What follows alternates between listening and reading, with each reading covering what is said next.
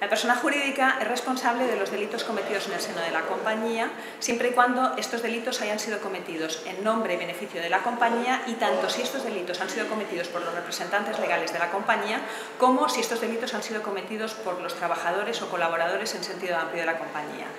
El Código Penal prevé eh, que la, persona jurídica pueda quedar exenta de responsabilidad penal siempre y cuando con anterioridad a la comisión del delito haya implantado un programa de prevención de delitos que incluya una verificación periódica, una, evaluación de los riesgos de la compañía, que incluya unos protocolos, que incluya una obligación de comunicar las infracciones cometidas, que incluya una, supervisión eh, de toda la situación delictiva de los riesgos de la compañía. Y además es necesario que, haya, que tenga un órgano de, control, un órgano de cumplimiento de este programa de prevención de delitos. Las consecuencias para la compañía de,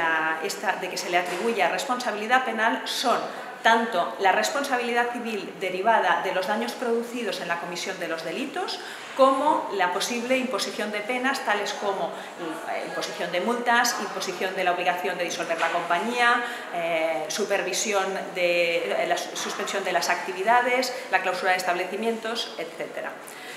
La reforma del Código Penal introduce, por tanto, una, obligación, una nueva obligación de los administradores consistente en adoptar las medidas necesarias para evitar la comisión de delitos, eh, para que en caso de que se consuman estos delitos se puedan detectar y se puedan identificar a los responsables y, en definitiva, también una obligación de difundir la cultura ética empresarial.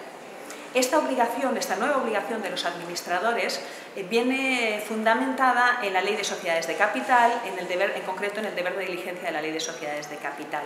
que eh, obliga en concreto al administrador a desempeñar el cargo y cumplir con la legalidad, con la diligencia de un ordenado empresario y adoptar las medidas necesarias para la buena dirección y control de la sociedad.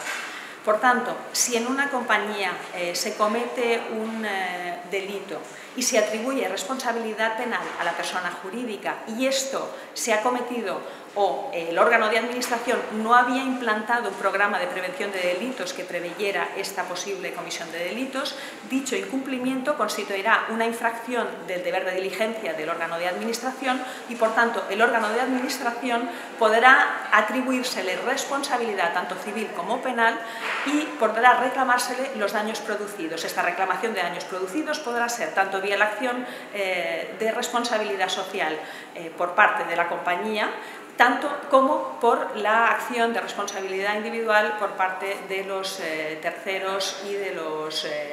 y de los propios socios cuando estos daños no hayan sido un reflejo del daño causado a la compañía.